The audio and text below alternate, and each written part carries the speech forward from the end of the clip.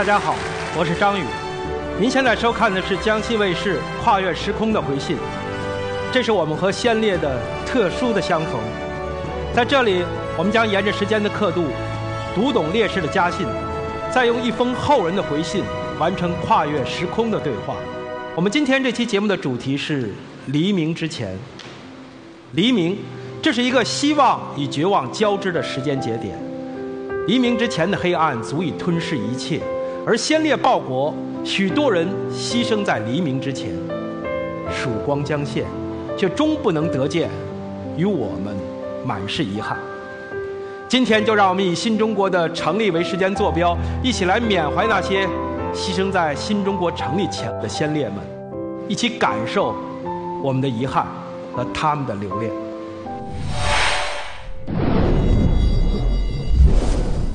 一九四八年十二月三十日凌晨，一段长长的秘密电波从上海黄渡路幺零七弄十五号的寓所发出。电波的内容就是敌军长江布防图。而正是凭此电报，四个月之后，中国人民解放军发动渡江战役，为成功突破国民党的长江防线起到了重要的作用。百万雄师过大江，兵锋所指，摧枯拉朽。那么这份重要的电报是谁发出的呢？发出这条重要情报的人叫李白。李白，原名李华初，从1937年到1948年间，他的电台是上海连接党中央的最重要的信息传输通道，日军和国民党的诸多重要情报。都是经由李白之手输送到了党中央。一九四八年十二月三十日凌晨，国民党特务利用最先进的侦测设备监测出了李白的位置，最终李白被捕入狱，并受到连续长达三十小时的刑讯。但李白始终坚守信念，没有对敌人吐露半分。面对国民党反动派的节节败退。身陷囹圄的李白感受到国民党可能会负隅顽抗，采取极端手段，但他仍然泰然自若，毫无惧色，甚至给妻子写下了一封看似琐碎、近乎于唠叨的家书。让我们重回烽火年代，倾听时空的声音。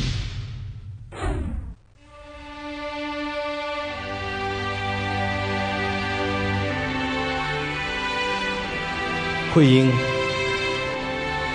本月二十二日星期五下午，我由警备部接来南市蓬莱路警察局看守所羁押。这里房间空气比警备部看守所好，但离家路远，接见比以前要困难。你若来看我，要和舅母一同来。坐车时，好照顾好小孩。听说这里每逢星期一、五上午九至十时，下午三至四时可以送东西。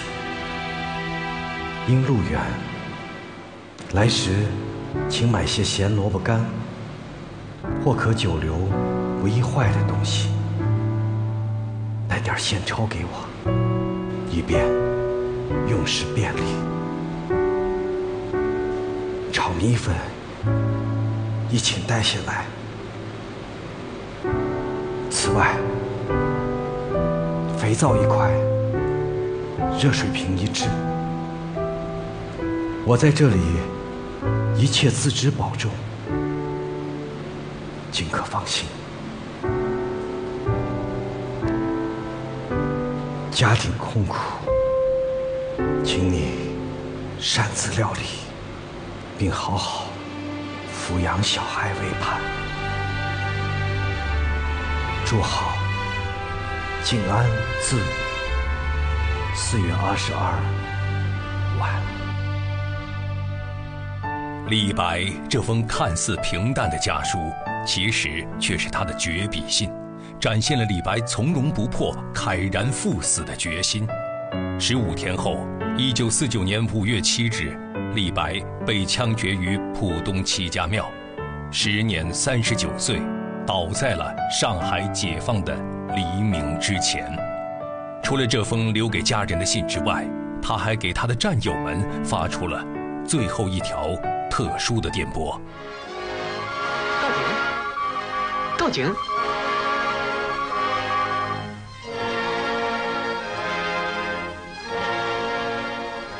同志们，永别了，我想念你们。电影《永不消逝的电波》家喻户晓，片中主人公李霞的原型正是李白，而现实中，李白最后发送的电波内容究竟是什么？接收到李白最后一条电报的人是个年仅十六岁的小战士。而这位小战士并不知道电波另一端的战友当时已经被捕。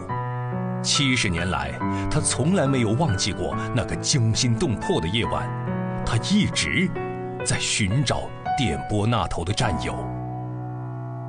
让我们有请回信人，有请。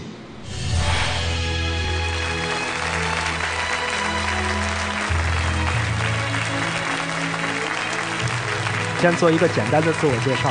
我叫苏彩青，今年八十七岁了。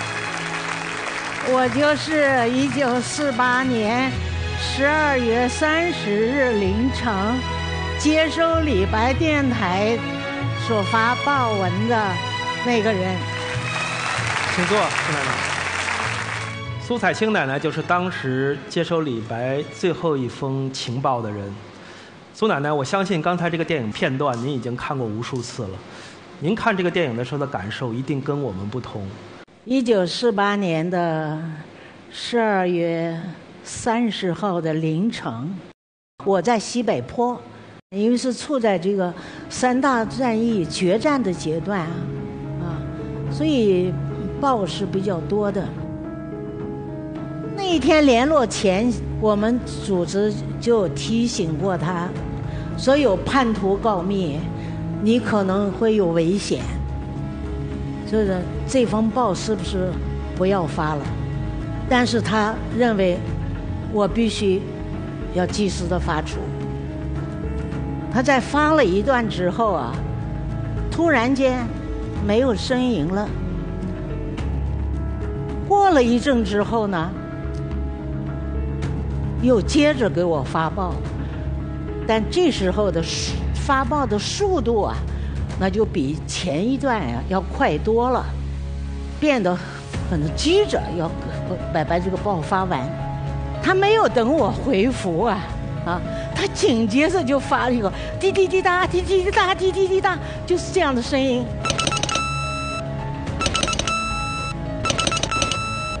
我现在已经不能像当当年那么快了。对方是非常快的，滴滴滴答，滴滴答，滴滴答，连连着，然后呢就没有声音了。这是什么意思呢？三个维字的摩尔斯电码，这个信号啊，是我们领导啊事前给规定的，发生什么不测的情况、意外的情况，他要尽可能的。向中央做一个报告，这就是事情。他他促进危险啊，那么他这个信号呢，居然就让我听到了。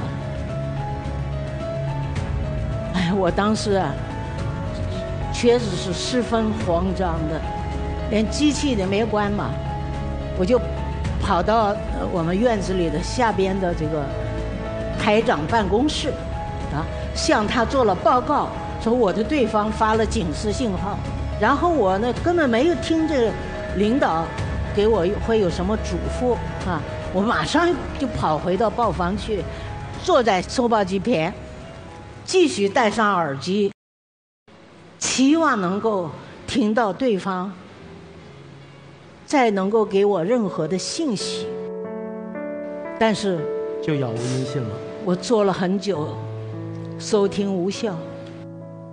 等于李白烈士实际是在生命和发出情报之间，最后选择了发出情报，是牺牲自己。是的，他一直坚持啊，电台重于生命，这是我特别钦佩他的。这种精神，他践行这样的诺言，他说到做到，啊，他言行一致，我觉得他是真英雄，所以非常令人令我敬佩。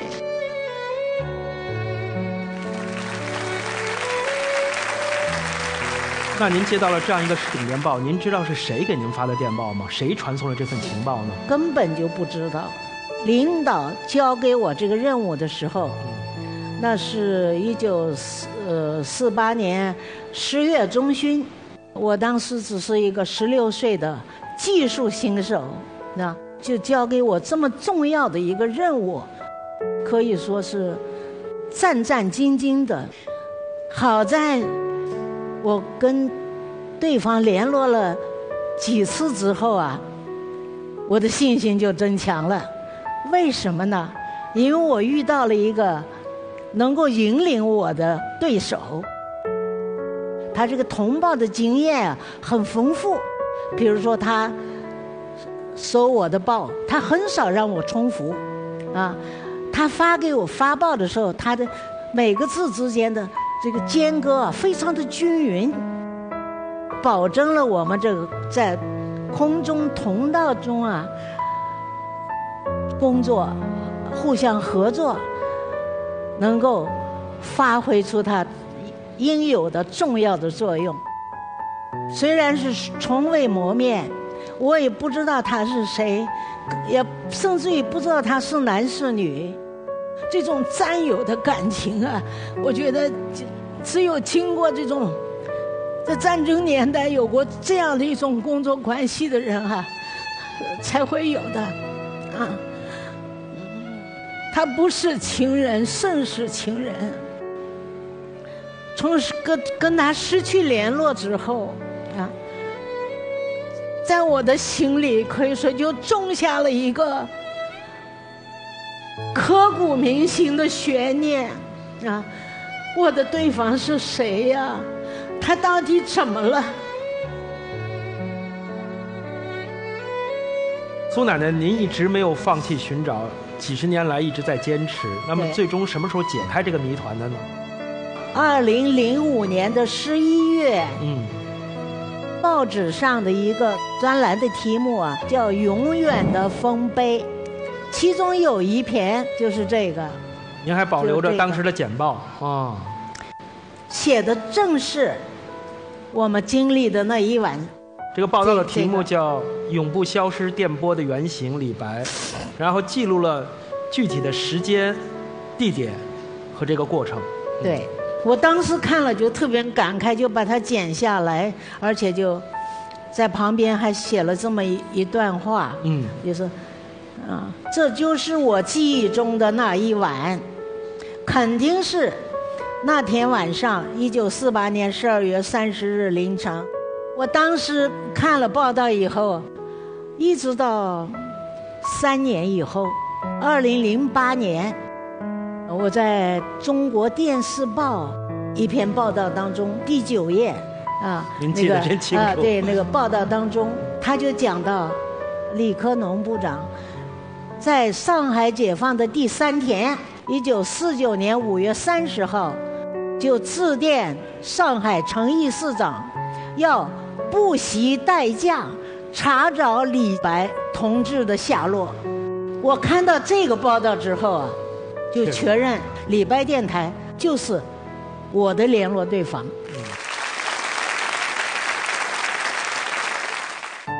二零一零年十月。苏彩青和爱人黎红第一次走进了李白烈士故居，苏彩青终于来到了当年李白给他发送电报的地方，他终于找到了他六十二年前的战友，而这也是他们跨越时空的次重逢。那么今天在这样一个特别的场合，你要通过。跨越时空回信这种形式跟李白烈士进行一次沟通，您是什么感受呢？五月七号，就是李白烈士，呃，牺牲七十周年的纪念日，在我们共和国的基因里头，啊，有着数千万烈士的血液，其中就有李白烈士五月七号洒在上海滩的那一一腔热血，啊，而且在我们共和国的基因里，就有李白烈士永不消逝的电波，我们会永远记记住他，学习他。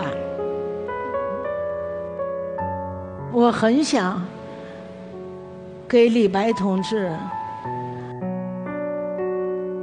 发一封我来自我肺腑的嗯心声，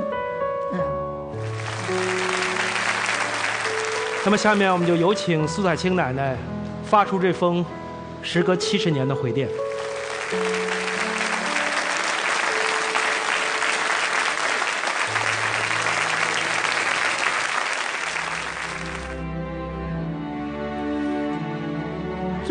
的前辈、同行战友李白同志，这是我知道您的真实身份后第一次给您回信。昨天，五月七日，是您牺牲七十周年的纪念日，我又重新翻开与当年。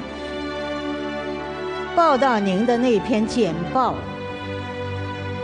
上面又看到当时我写下的一句话，这就是记忆中的那一晚，而您就是我找寻了七十一年的战友。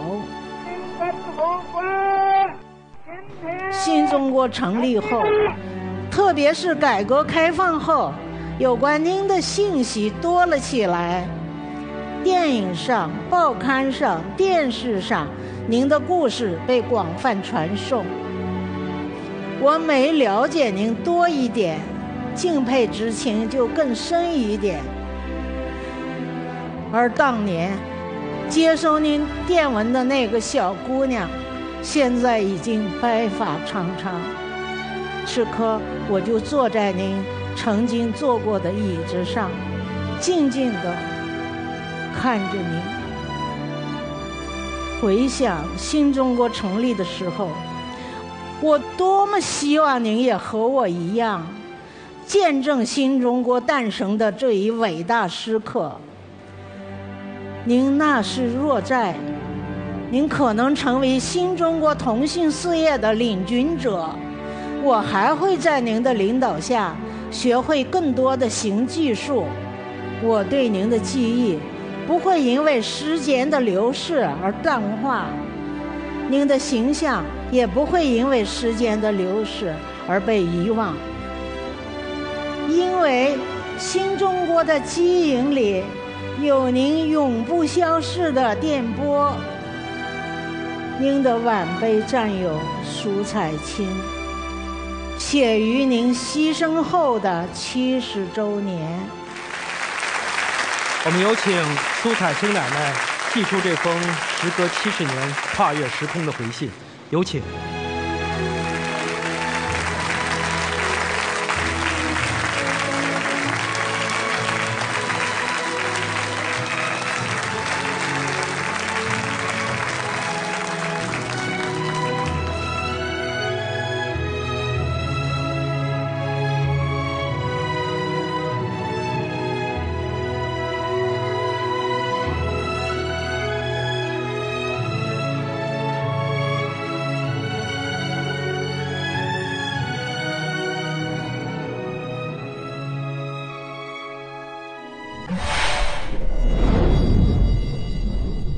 节送礼好选择，银鹭花生牛奶，植物蛋白加动物蛋白，双蛋白，营养齐分享，香浓更美味，欢乐聚餐好伴侣。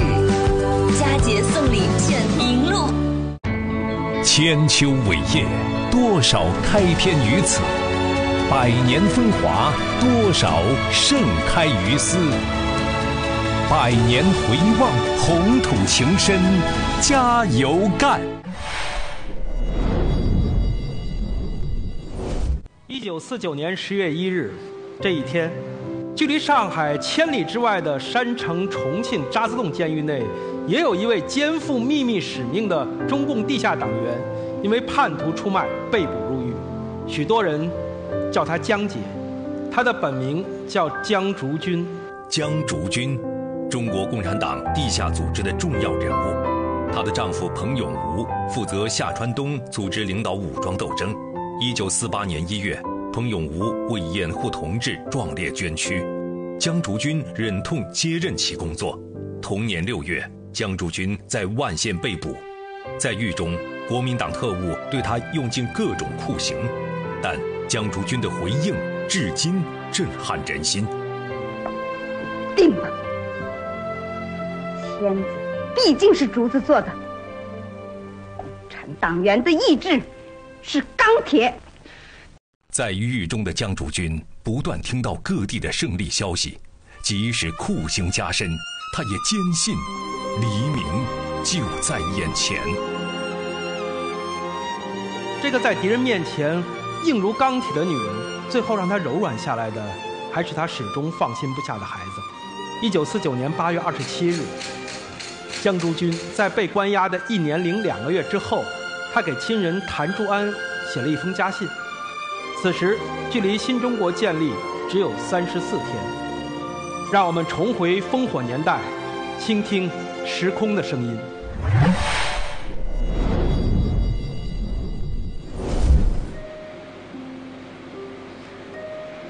朱安弟，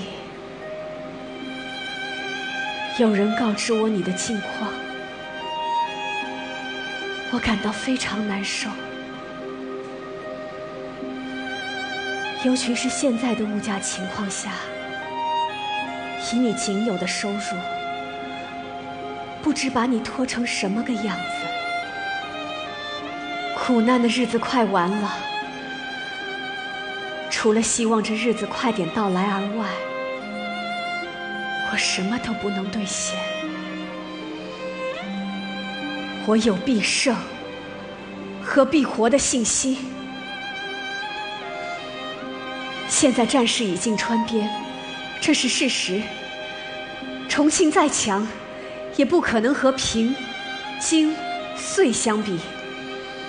因此，大方的给他三四月的命运，就会完蛋的。我们在牢里也不白做，我们一直是不断的在学习。希望我俩见面时，你更有惊人的进步。我们到底还是虎口里的人，生死未定。假若不幸的话，云儿就送给您了。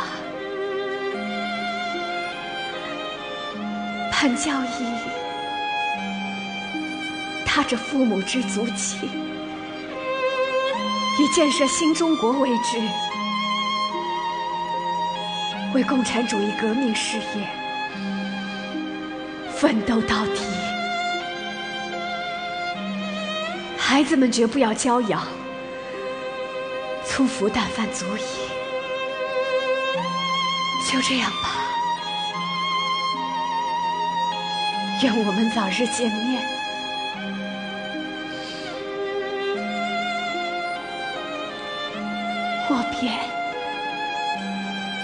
都健康。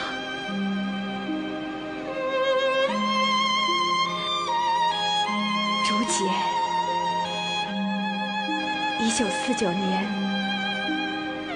八月二十七日。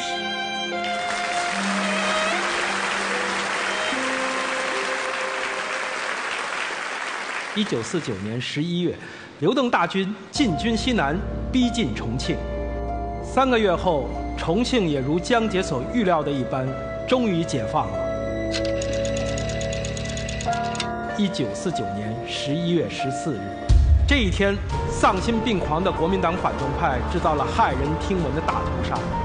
江竹君牺牲于歌乐山电台兰亚刑场，时年二十九岁。临行前，江竹君把自己的梳子、牙刷、口杯。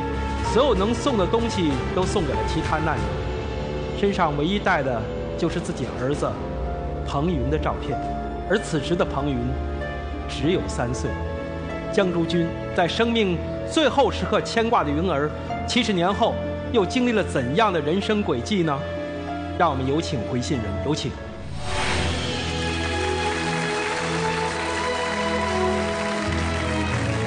欢迎你，壮壮。大家好，我叫彭壮壮，是江姐的孙子。我的父亲是彭云，就是奶奶信中提到的云儿。父亲因为年事已高，特地嘱托我今天来到现场。欢迎你，请落座。非常遗憾，你的父亲不能来到现场。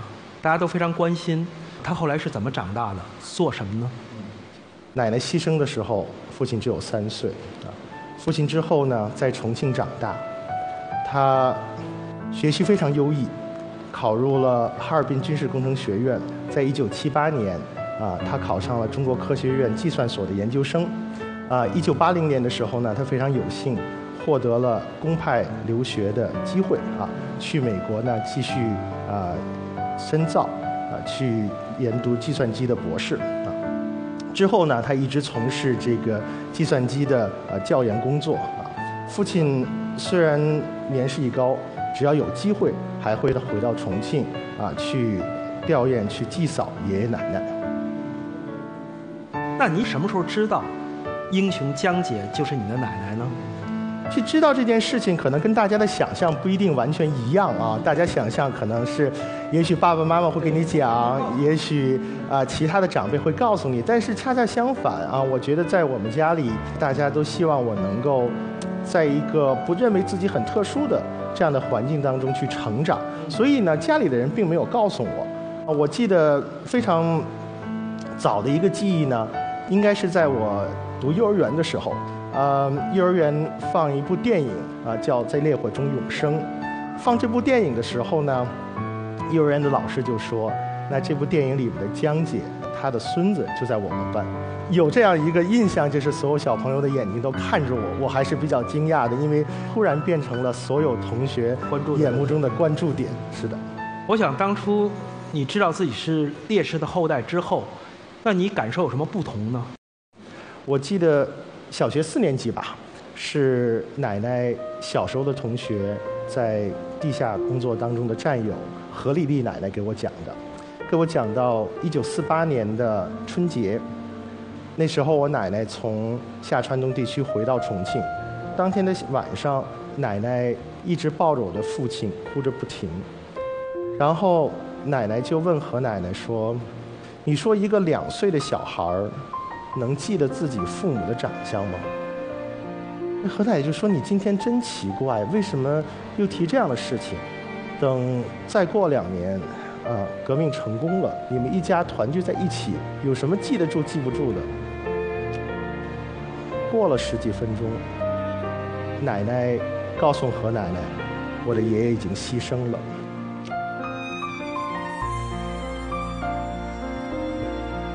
奶奶自己呢，很快也还会回到最危险的地方去工作，那也就意味着她和我爸爸也可能是一次永别。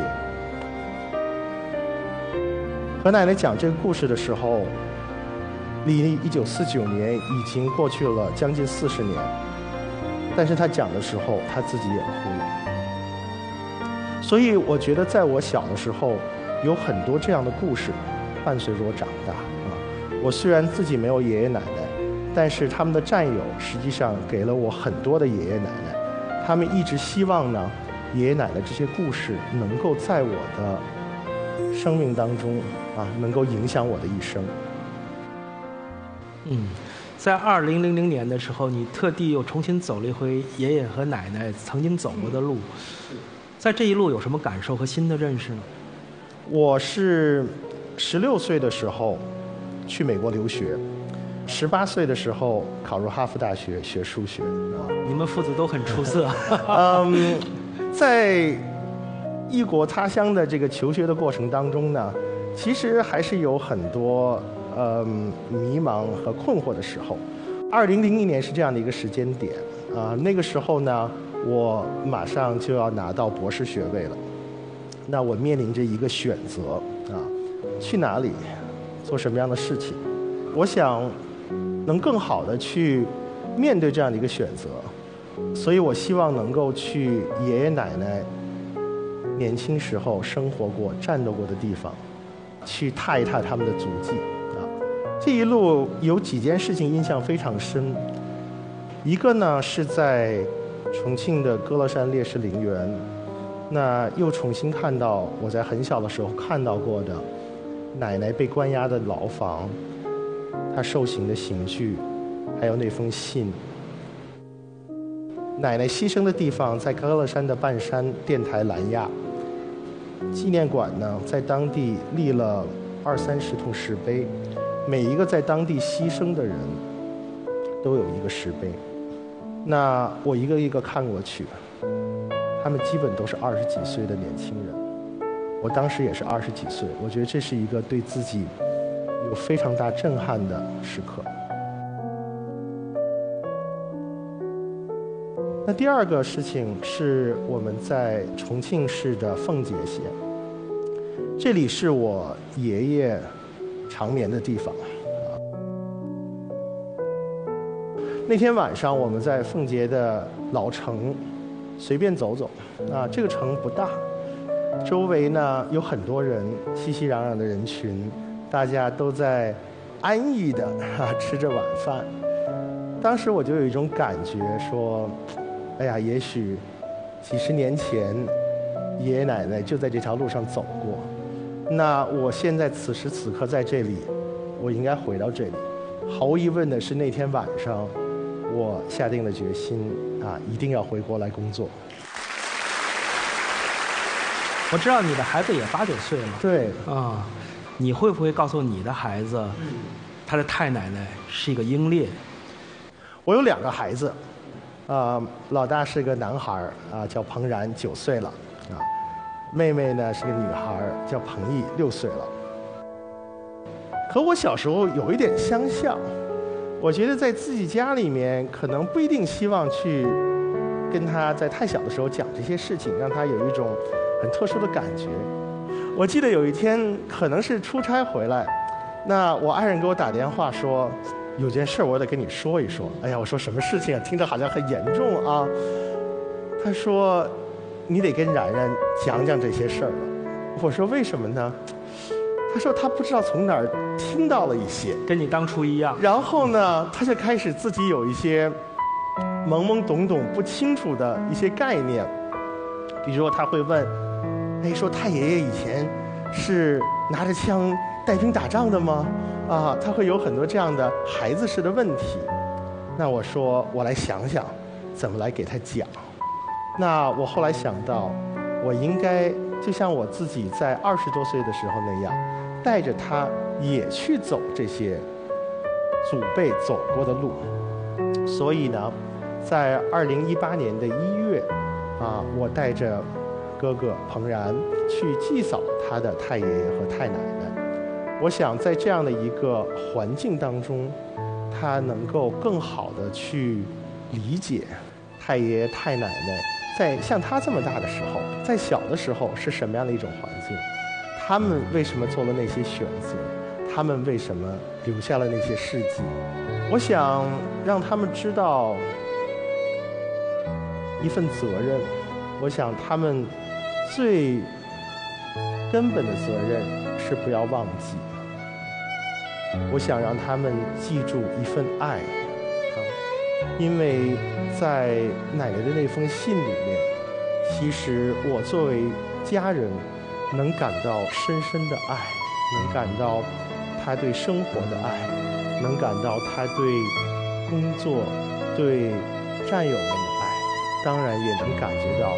他对所有家人们的爱，所以这份爱也是我希望孩子们能够继承下去。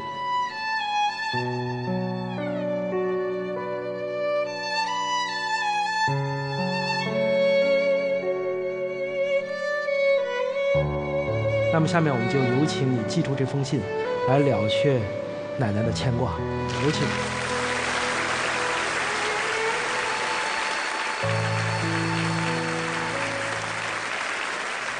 亲爱的奶奶，我是壮壮，你的孙儿。你虽然没有见过我，可如果你能看到，或许能认出我来。我继承了你的下巴和颧骨，继承了爷爷的眉毛和身材，在爸爸的脸上，在我的脸上，还能找到你们的影子。奶奶，你离开我们七十年了，可你没有被忘记，你也一直在我们的生命里。你一定还记得何丽丽奶奶吧？她是你最好的朋友和战友。小时候，何奶奶常给我讲你们年轻时的故事。童年的欢笑，地下工作的艰险，家庭的幸福，还有你对父亲的牵挂。虽然我不能和你一起享受祖孙间的欢乐，但这些故事让你不再陌生。在我的成长中，你给了我一种特殊的力量和信念。我十六岁出国留学。十八岁时考入哈佛大学学习数学。我想你若知道我学业有成，一定也会为我高兴。二零零零年的夏天，在出国十年后，我想着要回到家乡看看。这次回国也为我带来了一段意想不到的缘分。我去看望了何丽丽奶奶，在她家遇到了她的孙女仲琪。我们相识、相爱、成家，有了两个可爱的孩子。你们将近一个世纪的缘分，跨越四代人，化作了两个孩子身上共同的血脉。两个孩子依然继承了你的面容。老大彭然是哥哥，今年九岁了，他渐渐懂事。一年前，然然在学校。准备一次讲演，题目是“改变世界的人”。他有些犹豫地问我：“能讲太奶奶吗？”我非常感动于他对这份传承的用心。我用最简单的语言帮他明白这些家国的回忆。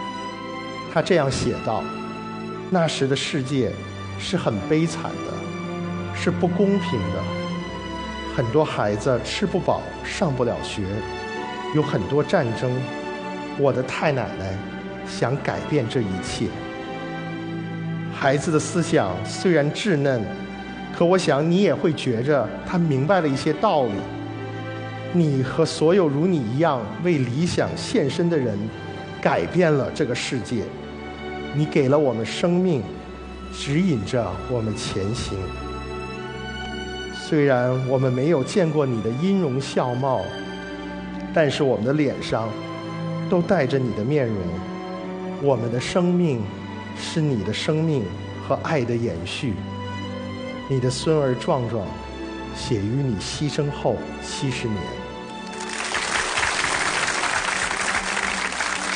好，我们有请彭壮壮先生寄出这封跨越时空的回信，有请。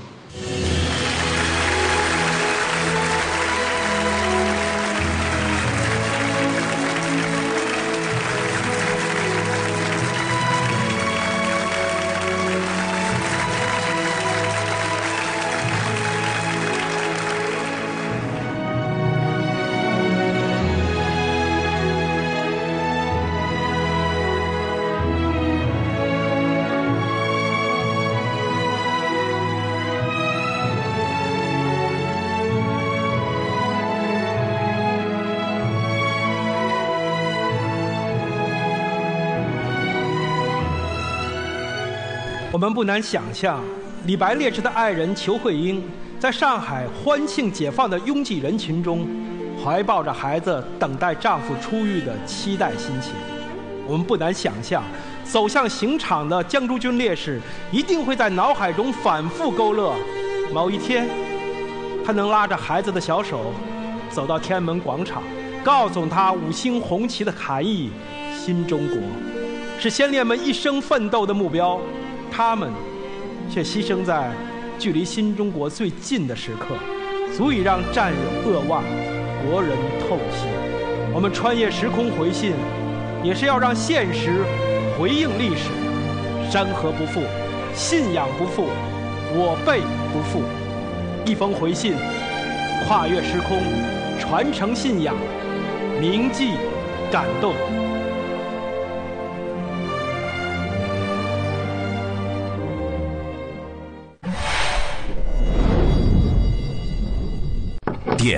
带来便利，也隐藏风险。事故瞬间发生，安全点滴做起。疫情未远离，接种新冠疫苗，共筑健康屏障是每个公民的责任与义务。建立全民免疫，需要您的一臂之力。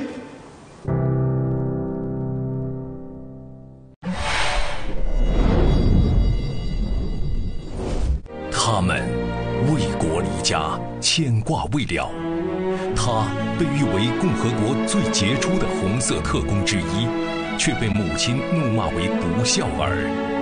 十四页长信，解不开的误会。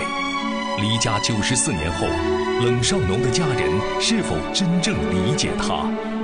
他们归国赴难，用生命连通抗战输血管。一个空白相框，一个未了心愿。南桥济公后人动情回望死亡公路上的战火与鲜血，致敬先辈们的离家与回家。